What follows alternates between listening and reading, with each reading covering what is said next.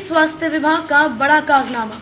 Bolero चालक से जबरन करा रहे कोरोना की जाँच, धरती के भगवान कहे जाने वाले। डॉक्टर का आज एक ऐसा सच बताएँगे, जिसे सुनकर आपके पैरों के नीचे से ज़मीन खिसक जाएगी। मामला अमेठी सीएचसी से जुड़ा हुआ है, जहाँ पर तैनात सीएचसी अधीक्षक प्रवीण कुमार उपाध्याय ने अपने ही सीएचसी में लगी प्राइवेट बुलेरो जीप के ड्राइवर से कोरोना जाँच करवा रहे हैं। जिसकी तस्वीरें भी हमारे पास मौजूद हैं। ये तस्वीरें बीते 26 मार्च की अमेठी रेलवे स्टेशन की है, जो व्यक्ति कोविड किट में नज़र आ रहा है। उसका नाम जितेंद्र कुमार जायसवाल है। ये अमेठी सीएचसी में खुद की बुलेरो जीप चलाता है।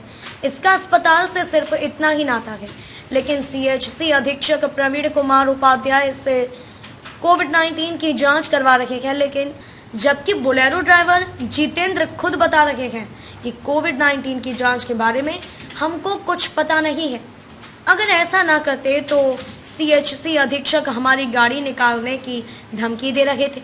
इतना ही नहीं, पूरे कोरोना काल में हमने लोगों की कोविड जाँच की है। हमें कोई ट्रेनिंग नहीं दी गई। हमारे शिक्षक जो है, हमारे यहाँ सरकारी अस्पताल के प्रवीण कुमार उपाध्याय उनके कहने पे हम ये कर रहे थे और उन्होंने बोला कि नहीं करोगे, तुम्हारी गाड़ी निकाल दी जाएगी।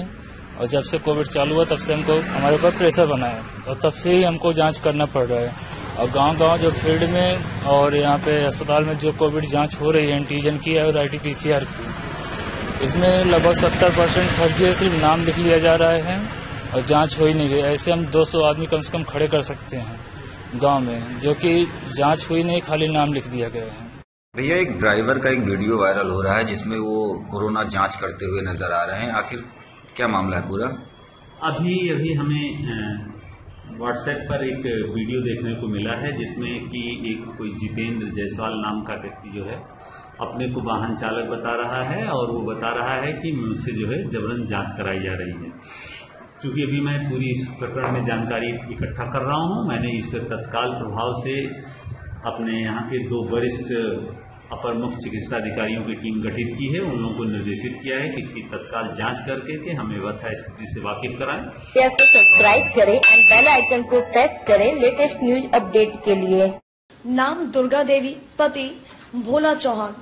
उम्र 32 वर्ष रंग सांवला। कद पाँच फीट पता रघुनाथपुर पोस्ट जमालपुर ठंड जिला मिर्जापुर। दुर्गा देवी 22 मार्च 2021 की सुबह पाँच बजे से घर से लापता है। इनका मानसिक संतुलन ठीक नहीं है, जिसे भी यह महिला दिखाई दे या इनका पता चले तो सूचित करें। संपर्क करें आठ एक सात दो नौ सात चार आठ एक चार पर।